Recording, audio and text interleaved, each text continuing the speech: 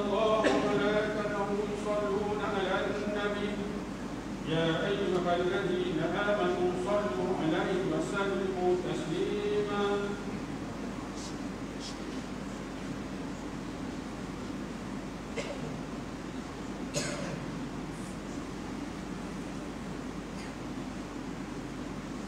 اللهم صل على محمد اللهم صل على سيدنا محمد اللهم صل على سيدنا محمد وعلى آل سيدنا محمد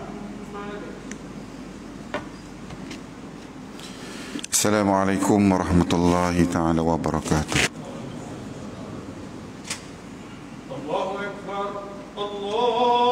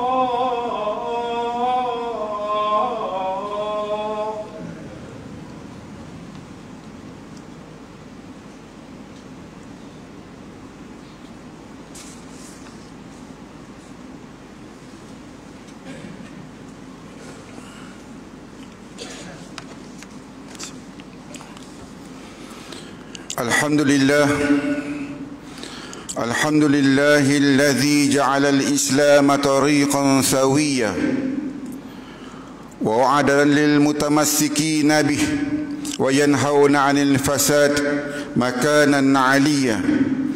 أشهد أن لا إله إلا الله وحده لا شريك له.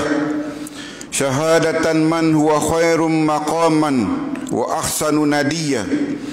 وأشهد أن سيدنا محمدا عبده ورسوله المتصف بالمكارم كبيرا وصبيا. اللهم صل وسلم على سيدنا محمد. كان صادق الوعد وكان رسولا وكان رسولا نبيا. وعلى آله وصحبه الذين يحسنون إسلامهم ولم يفعلوا شيئا فريا.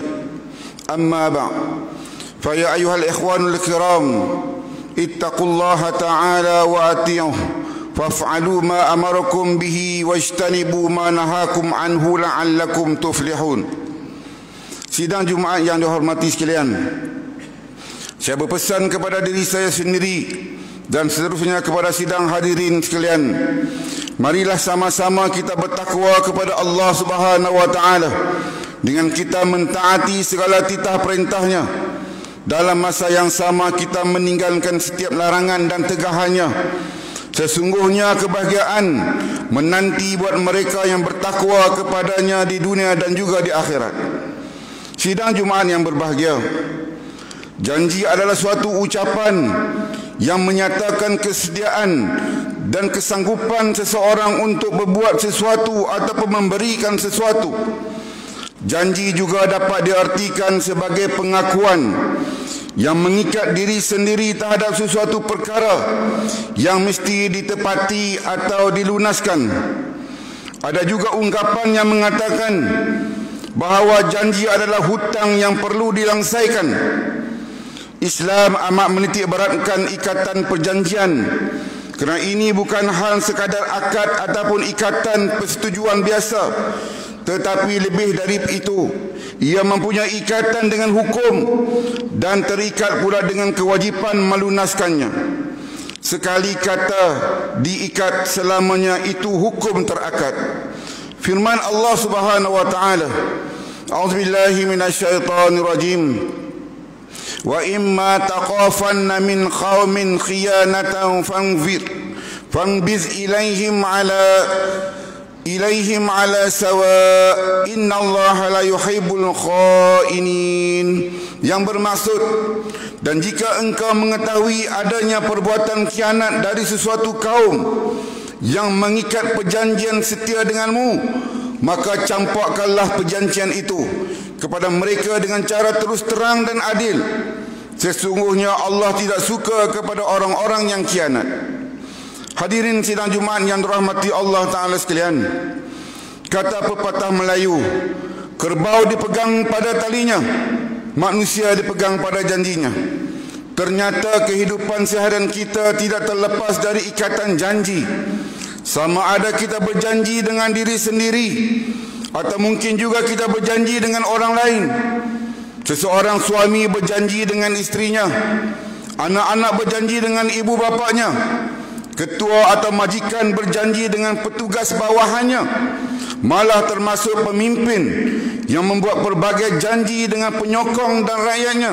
Kesemuanya mereka terlibat dengan kata-kata janji yang dilafazkan dan wajib dilunaskan dengan sedaya mungkin kerana sekiranya tidak diselesaikan di dunia pasti akan berhadapan dengan hukuman di mahkamah Allah Subhanahu wa taala Rasulullah sallallahu alaihi wasallam turut mengancam perbuatan orang yang mengingkari janji seperti sabdanya daripada Ali bin Abi Talib yang berkata Rasulullah sallallahu alaihi wasallam bersabda man akhfara musliman fa alaihi la'natullahi wal malaikati wan nasi ajma'in la yuqbalu minhu sarafan wala adl. Rawal bukhari wa muslim. Yang bermaksud Barang siapa yang tidak menepati janji seseorang muslim Maka dia mendapat laknat Allah. Dia mendapat laknat malaikat dan seluruh manusia. Tidak diterima darinya taubat dan juga tebusan.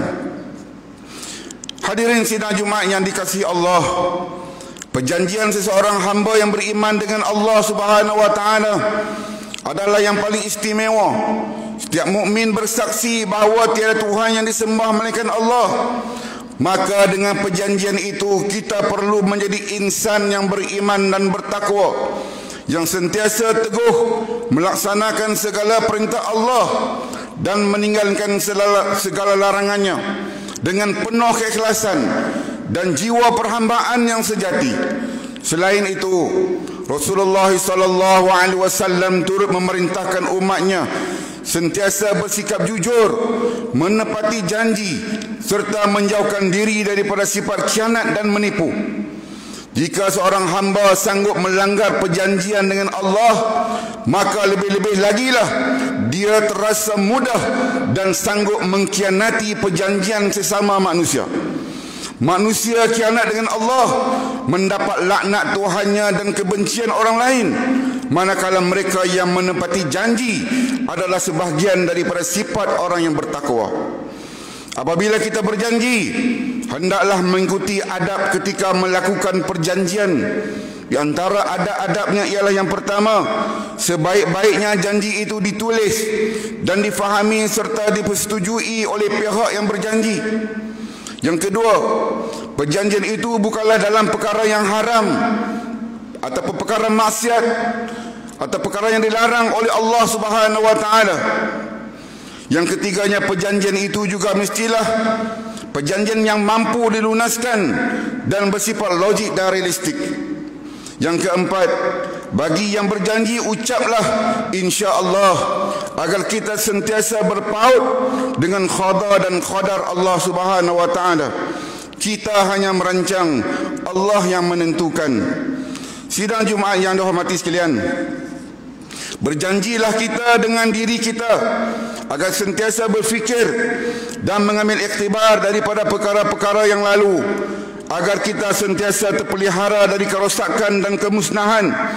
Apatah lagi dalam suasana pandemik COVID-19 yang kembali menular dan jangkitan yang semakin meningkat dengan mendadak sejak kebelakangan ini. Marilah kita memperkukuhkan azam kita memperteguhkan iltizam dan kita memantapkan ikhtiar kita untuk bersama-sama membendung pandemik COVID-19 ini.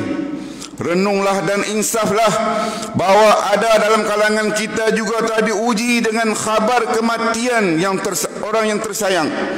Ada di antara kita yang dibuang kerja, ada yang terpaksa berikhtiar hidup dengan berbagai cara demi menampung pendapatan harian ada ibu yang terpaksa mengikat perut demi mengutamakan makanan untuk anak-anak dan pelbagai lagi kesulitan hidup dan cabaran akibat wabak COVID-19 ini. Segala yang kita amalkan ini adalah bertepatan dengan tuntutan maqasid syariah yaitu menjaga agama, menjaga nyawa, menjaga akal, keturunan dan harta terutamanya dalam keadaan negara sedang menghadapi pandemik COVID-19. Marilah sama-sama kita berjanji dengan diri kita dan kita berjanji dengan Allah Subhanahu wa taala dengan menggalas tanggungjawab ini sebaik mungkin supaya diri kita, keluarga kita, masyarakat kita dan negara kita sentiasa terpelihara. A'udzubillahi minasyaitonirrajim. rajim. ولا تقولن لشيء إني فاعل ذلك غدا إلا أن يشاء الله واذكر ربك إذا نسيت وقل عسى أن يهديني ربي عسى أن يهديني ربي لأقرب من هذا رشدا dan jangan sesekali kamu mengatakan terhadap sesuatu sesungguhnya aku akan mengerjakan itu besok pagi kecuali dengan menyebut insya-Allah dan ingatlah kepada Tuhanmu jika kamu lupa. Dan katakanlah mudah-mudahan Tuhanku akan memberikan petunjuk kepada yang lebih dekat kebenarannya daripada aku. Barakallahu li wa lakum fil qur'anil azim wa nafa'ani wa iyyakum bima fihi minal ayati wa dzikril hakim. Wa taqabbala minni wa minkum tilawatahu innahu was السميع العليم أقول قولي هذا وأستغفر الله العظيم لي ولكم ولسائر المسلمين والمسلمات والمؤمنين والمؤمنات فاستغفروه فيا فوز المستغفرين ويا نجاة التائبين الله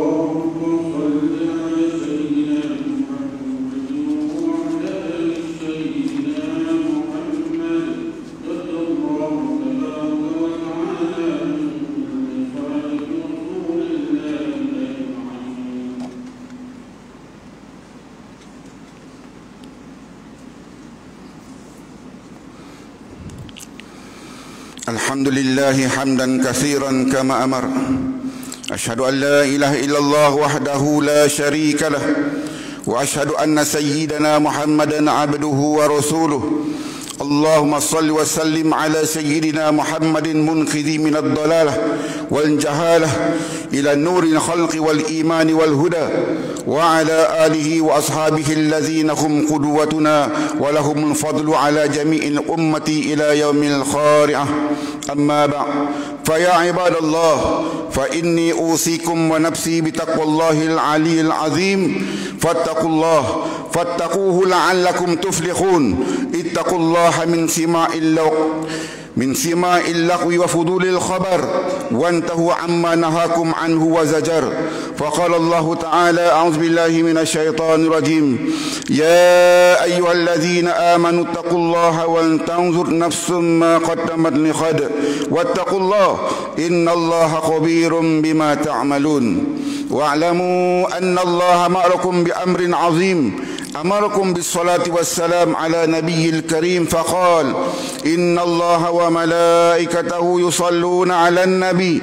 يا أيها الذين آمنوا صلوا عليه وسلموا تسليما اللهم اغفر المسلمين والمسلمات والمؤمنين والمؤمنات الأحياء منهم والأموات إنك سميع قريب مجيب الدعوات يا قاضي الحاجات يا رب العالمين اللهم اجعل هذا البلد آمنا مطمئنا اللهم أصلح أئمتنا وولاة أمورنا واشمل اللهم بعنايتك وتوفيقك جلالة الملك مولانا الأمين الكريم السلطان صالح الدين ابن المرحوم سلطان بدر شاه وولي عهده دولي teramat mulia Tengku Syarafuddin Badli Shah Ibn al-Amin al-Karim Al-Sultan Salahuddin وجميع الأسرة الملكية. اللهم وافقهم للسداد وأصلح بهم العباد والبلاد واجعل التقوى لهم خير الزاد. إنك رؤوف رحيم الجواد يا لطيفا بالعباد يا أرحم الراحمين. عباد الله إن الله يأمر بالعدل والإحسان وإيتاء ذي القربى وينهى عن الفحشاء والمنكر والبغي يعظكم لعلكم تذكرون فاذكروا الله العظيم يذكركم واشكروه على نعمه يزدكم واسألوه من فضله يعطكم ولذكر الله أكبر والله يعلم ما تصنعون أقيموا الصلاة